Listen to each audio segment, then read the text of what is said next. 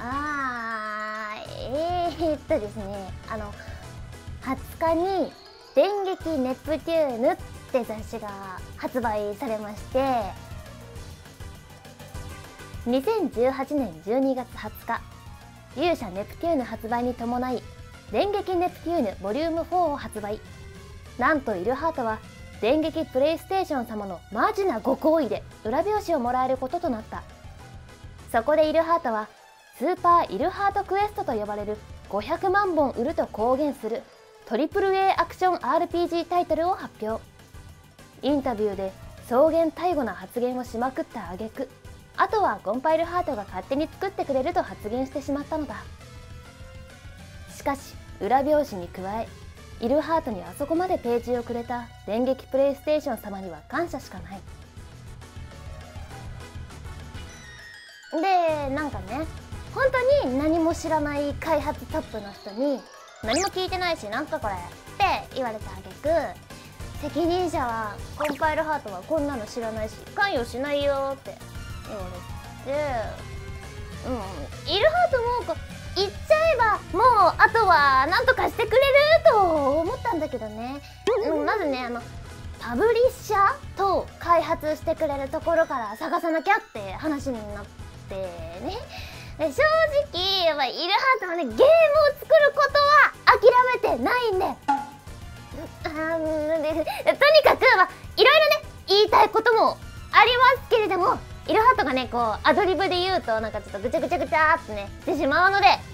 今回はちゃんと謝罪文を書いてきました。えーと今回私バーチャル YouTuber イルハートはトリプル A タイトルスーパーイルハートクエストを電撃ネプテューヌにて発売しましたが発表しましたが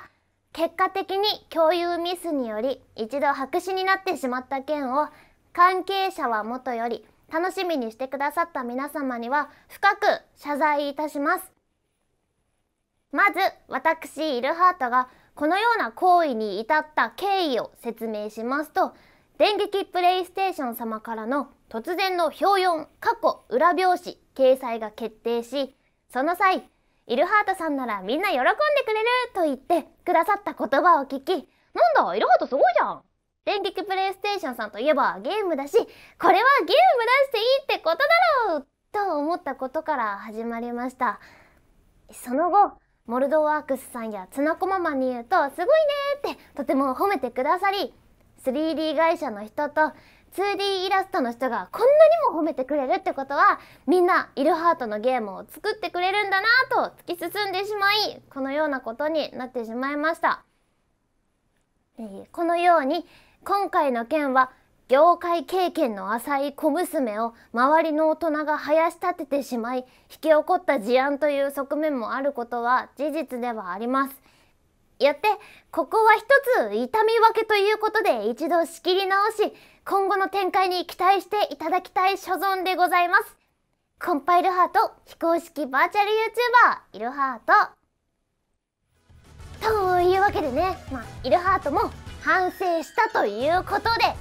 今後も電撃プレイステーション様の方でね毎月スーパーイルハートクエスト実現に向けて本当に連載をしてゲーム作り自体はね本気でやりたいので、まあ、パブリッシャーさんとね開発会社さんは本当に本当に募集します。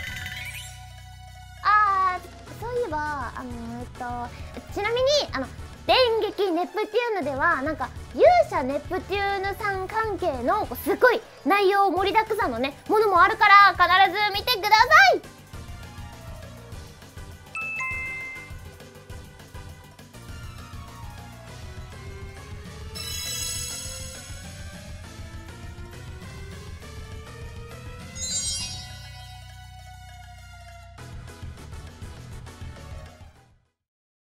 電撃大好き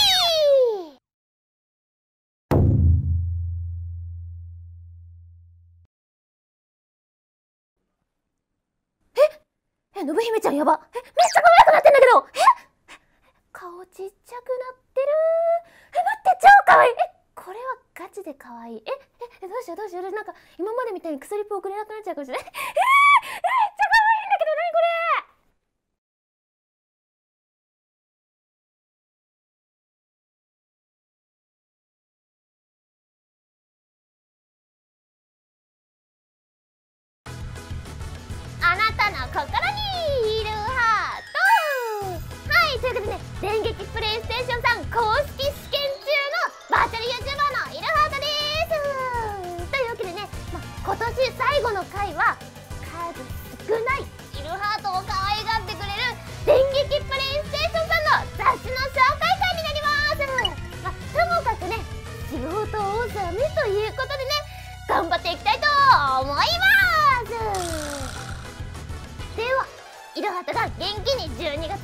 8日発売の電撃プレイステーションさん紹介していきます。電撃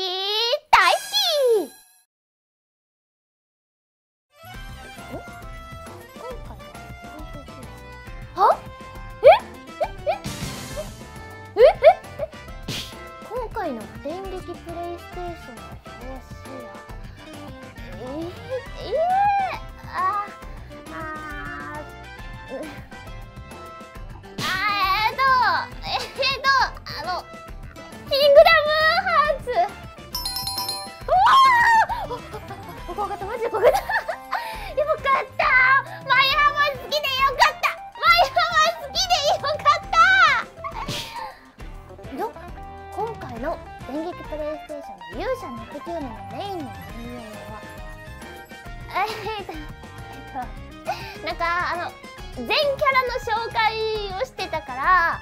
えーとキャラクター紹介。何ですかそのハテナみたいな攻略お役立ち情報ああはいはいはいはいはい。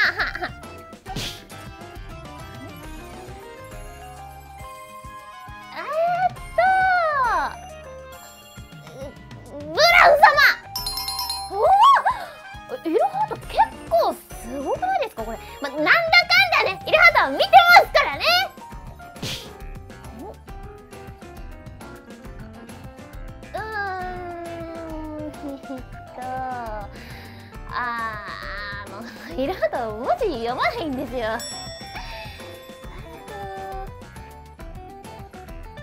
うんあ発売号だからあ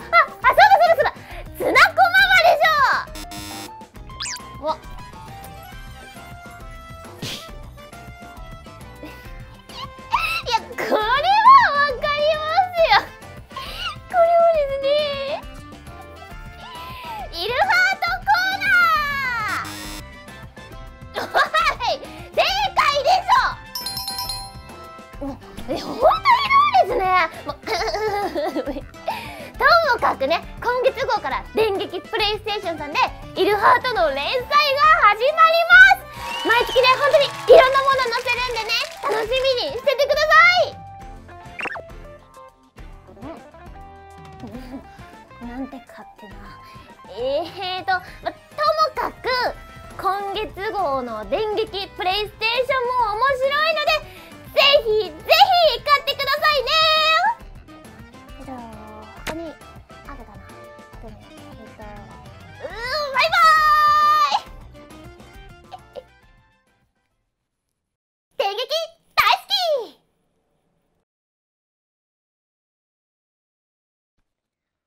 えっとイルハートが2018年を一文字で表すと。えー、なんだろうな。漢字でしょ？漢字一文字でしょ？うーん。ああれですかね。やっぱり生生きる生の字ですね。なんかなんて言うんだろう。やっぱりイルハートがね生まれたのも2018年の4月だし生まれたっていうかデビューしたのもね4月だしなんだろうな。なんかねまあ秋ぐらいからさこのまま生き残れるのかみたいな感じでねちょっとね結構みんなに心配をねかけたりもしたんですがなんて言うんだろう。なんか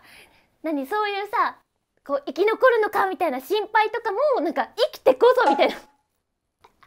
わかります？なんか生きてこそみたいなとこあるじゃないですか。っていうことでなんかまあ生まれたっていうのとこれからも生きて行きたいっていうね字であの生っていう字かなって思います。まあね2018年2018年もねもうすぐ終わりますけれども。まあね皆さんどんな1年でございましたでしょうか？ございましたでしょうか？こうやってねなんかたくさんのみんなに出会えて本当にね幸せな1年になったなって思います来年もねこうやってまたみんなとねな、な、なんて言うんだろう。なんかこうやって来年もね、みんなと一緒にいられるように頑張っていきたいと思いますので、どうかどうか来年もね、よろしくお願いします。ということで今日はこの辺で、バイバーイ